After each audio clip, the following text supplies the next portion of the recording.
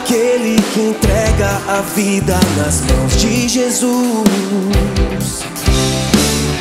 Absorve, armazena o poder